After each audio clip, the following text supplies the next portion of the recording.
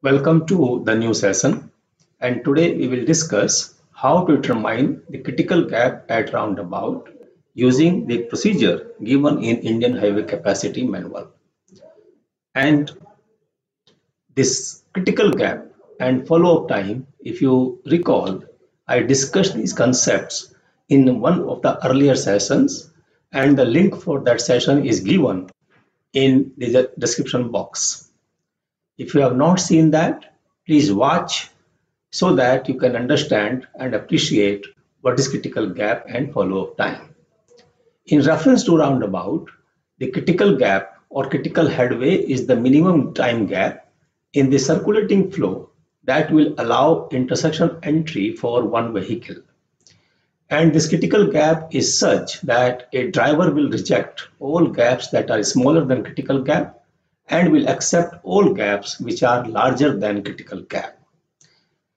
Similarly, follow-up time is that if the gap in the circulating flow is long enough, then more than one vehicle will enter from the same approach in that gap. Then time headway between two vehicles entering the circulating flow is the follow-up time.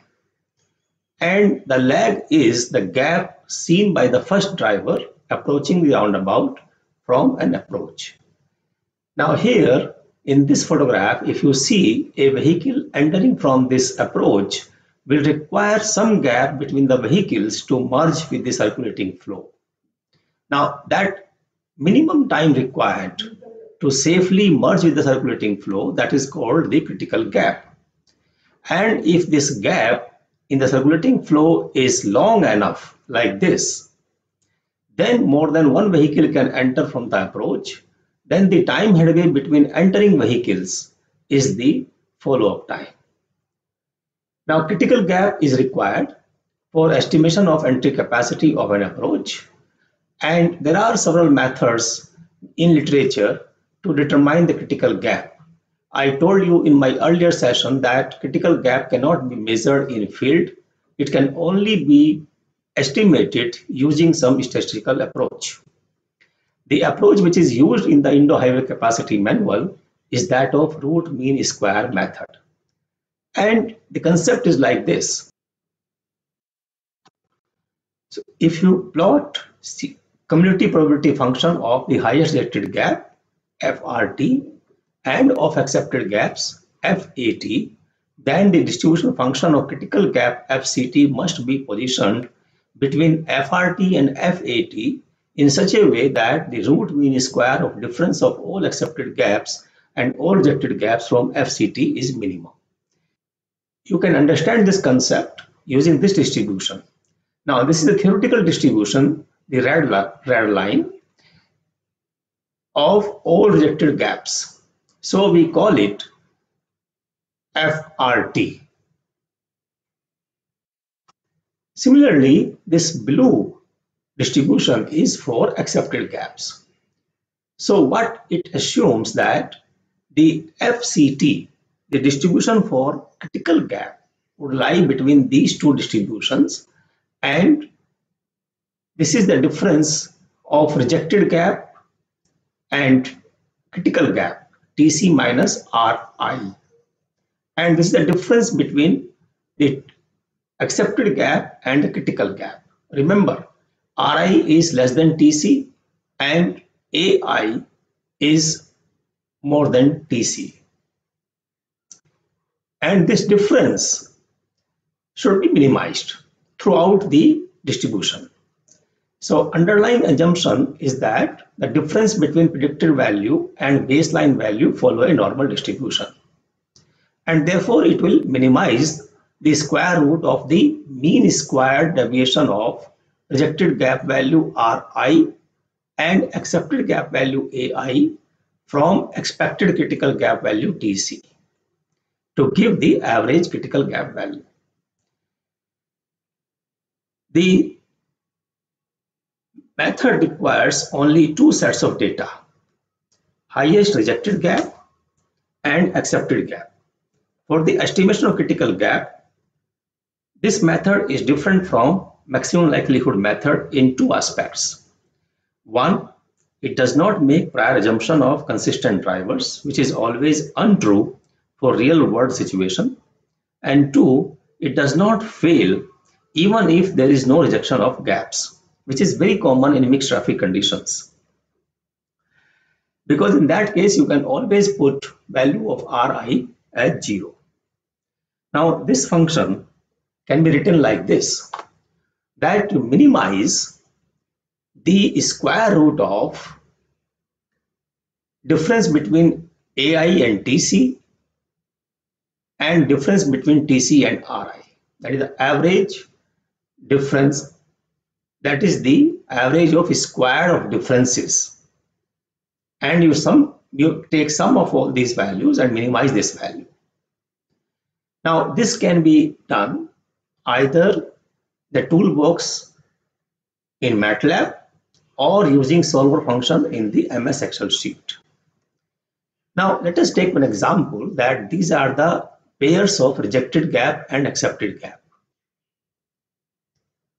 of drivers at a roundabout. Now all these values are taken from the field. Highest rejected gap and finally accepted gap. And I will explain how the function solver can be used in MS Excel to get the value of critical gap here. To use solver function in Excel sheet, open MS Excel and here you can write Ri rejected gaps, a i accepted gap and then root mean square function.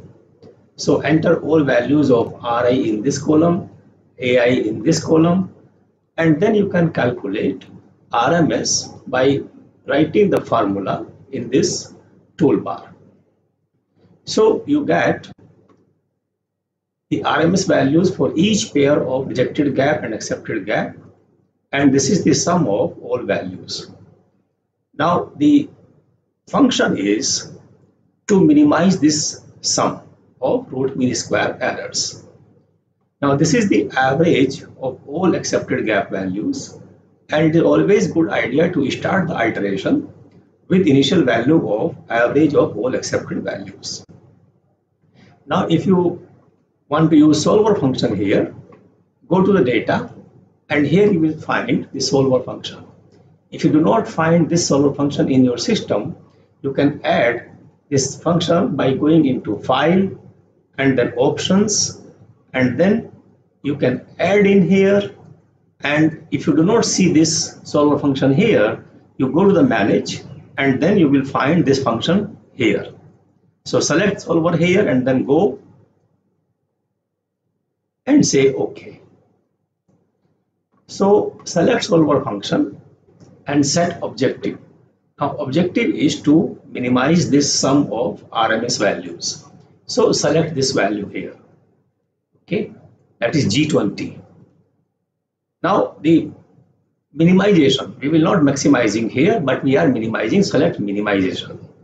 By changing the variable cell, so we will be changing this cell value, that is the gap.